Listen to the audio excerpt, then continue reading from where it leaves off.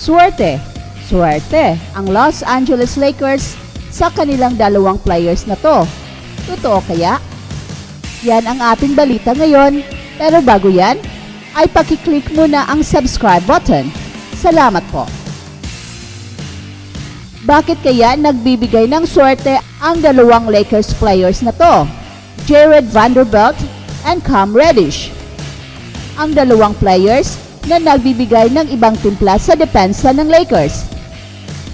Kakapanalo pa lang ng championship ng Lakers sa end-season tournament at sa kanilang laro, marami ang nakakikita sa magandang naiambag ni na Cam Reddish at Jared Vanderbilt sa depensa. At ang opensa naman ng Lakers ay pinangungunahan ni na LeBron James, Anthony Davis, Austin Reeves, and D'Angelo Russell. At sina Cam Reddish and Jared Vanderbilt naman ang panlaban ng Lakers sa depensa.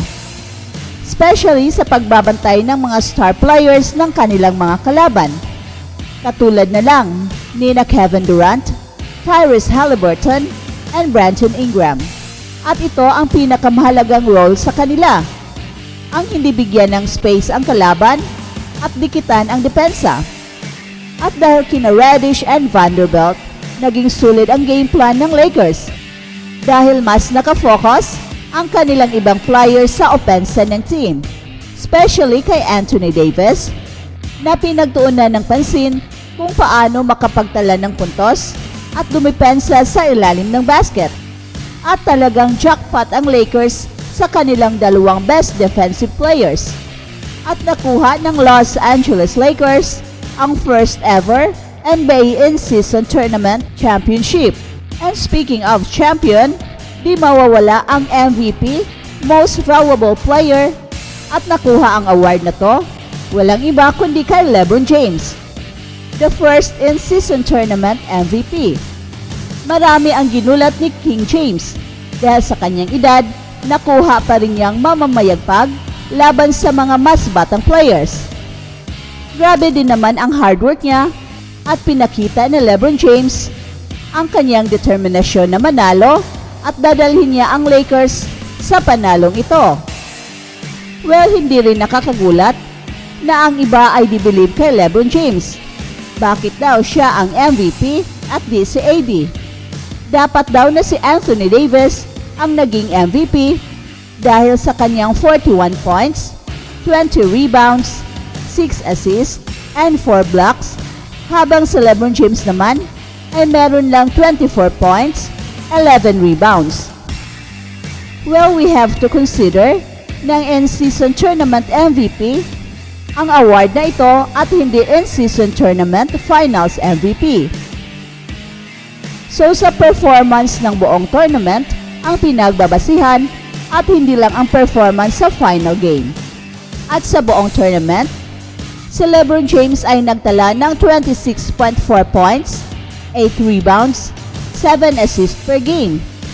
Habang si AD ay merong 20.3 points, 13.7 rebounds, 3.5 assists, 2.7 blocks.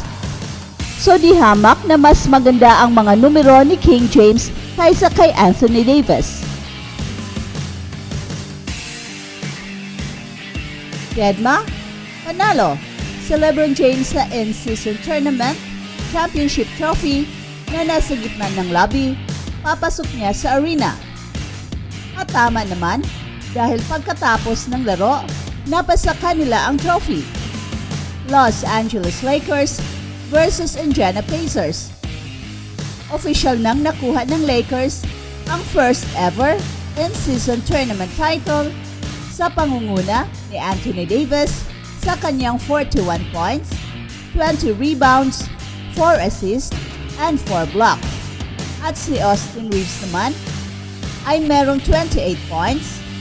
And of course, ang 38 years old na si King James ay merong 24 points, 11 rebounds, 4 assists, and 2 steals.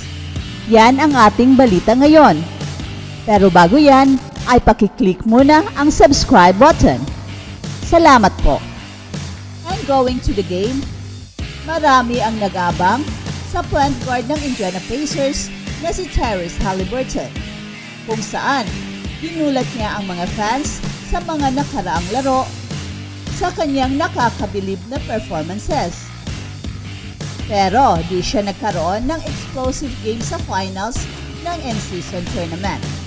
Pero nagtala naman siya ng magandang numero, 20 points, 11 assists, on 57% shooting from the field. Pero kita na nahirapan itong si Tyrese Halliburton sa depensa ng Los Angeles Lakers. Di talaga makalusot itong si Halliburton sa lakas ng depensa ng Lakers. Di na lang na maka-score ang ibang Pacer players, huwag lang itong si Tyrese Halliburton. At effective naman na hindi pinagalaw si Tyrese dahil nawala ng rhythm ang opensa ng Indiana Pacers. At di pa makuha ang momentum ng Pacers dahil sa depensa ng Lakers. At Halliburton, airball mga tira niya sa depensa ni Vanderbilt. Talagang frustrated itong si Tyrese Halliburton. Alam naman natin na si Tyrese Halliburton ang nagdala sa Indiana Pacers sa finals sa end-season tournament dahil sa kanyang mga magandang nilaro. At meron siyang average na 32.3 points, 12.7 assists, 4.4 rebounds, at siya rin ang number 1 sa end-season tournament MVP ladder.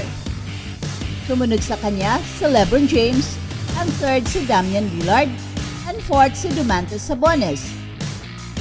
Pero nauwi ang MVP trophy kay LeBron James. Di talaga umubra ang offensive threat ni Tyrese sa defensive specialist ng Lakers na si Jared Vanderbilt. Airball ang uwi sa tira ni Tyrese. Ayaw talagang tantanan nitong si Vanderbilt si Halliburton. Kaya tuloy di makagawa ng magandang move. Panay mintis ang tira. Di talaga matawaran ang magandang depensa ni Vanderbilt sa kanilang panalo laban sa Indiana Pacers dahil di makagalaw si Tyrese Halliburton. ganado, agresibo itong si The King James sa finals ng NBA in-season tournament. Yan ang ating balita ngayon.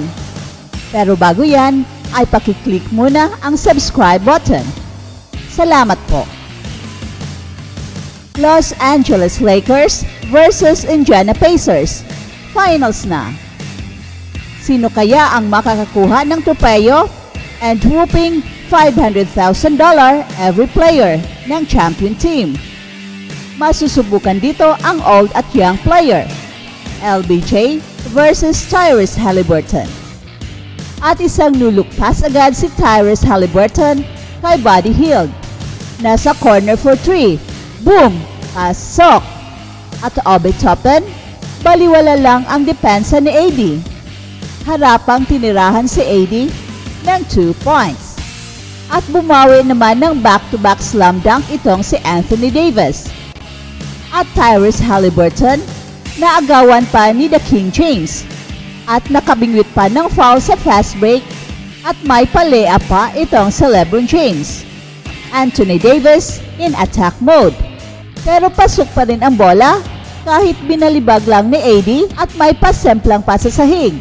13 points na dito si Davis and Austin Reeves lumaro din ng 7 points. Nakuha ng Lakers ang 5 points na kalamangan 34 to 29 sa first quarter. And second quarter, nag-showtime na dito si LeBron James. Walang makakapigil sa kanya. Mas tumatanda, lalong bumabata ang galawan ni King James. And Austin Reeves, bumida rin para sa Lakers. Pero nanggigil itong si LeBron at nakipagtango sa depensa ng kalaban at natawagan tuloy ng offensive foul itong si Lebron. And Austin Reeves ang bumuhat sa Los Angeles Lakers sa kanyang 8th straight. Ganado, agresibo, itong si The King James sa finals ng NBA in-season tournament. Yan ang ating balita ngayon. Pero bago yan, ay pakiclick muna ang subscribe button Salamat po. Los Angeles Lakers versus Indiana Pacers. Finals na.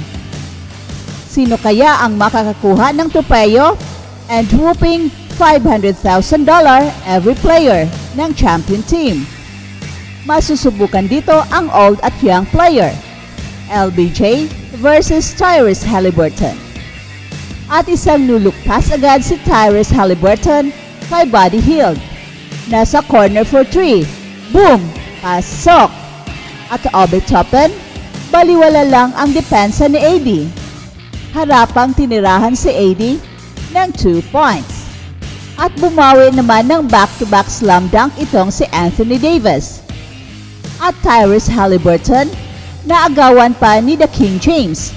At nakabingwit pa ng foul sa fast break at may palea pa itong si LeBron James. Anthony Davis in attack mode. Pero pasok pa rin ang bola kahit binalibag lang ni AD at may pasemplang pa sa sahig. 13 points na dito si Davis and Austin Reeves lumaro din ng 7 points. Nakuha ng Lakers ang 5 points na kalamangan 34 to 29 sa first quarter. And second quarter, nag-showtime na dito si LeBron James. Walang makakapigil sa kanya. Mas tumatanda, lalong bumabata ang galawan ni King James. And Austin